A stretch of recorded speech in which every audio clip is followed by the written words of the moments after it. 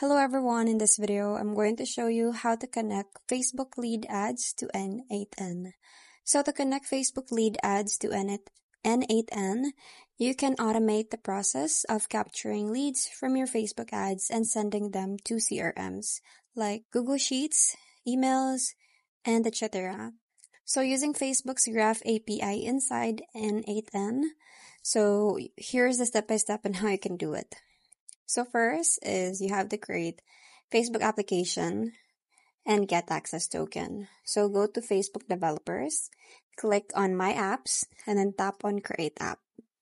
So you just have to choose business as the type and then set the app uh, name and create the application. Then just go to add product and choose Facebook login and then set the platform to web if you're asked to do it.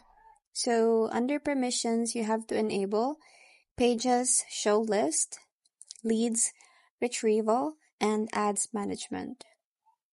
So after that, just use Facebook Graph API Explorer to get a short-term token with the above scopes, um, and then exchange it for a long-lived access token. So you have to request this. You, you can just screenshot this one and copy it and then save this token and it will be used in N8N. After that, in N8N, you have to create a new workflow. So add the Facebook trigger node, node rather, and then choose resource, then lead ad. So just select or create Facebook OAuth to credentials. So paste the long lived token and then choose your Facebook page and form ID from drop down. And then just create, I mean click the execute node to test it. Now after doing that, you have to connect to destination, like for example, Google Sheet or CRM. So you can add another node like Google Sheets, email, Airtable, and etc. Depends on you. And then you can use the output data from Facebook lead ad trigger, like for example, the fields like your full name, email, phone number.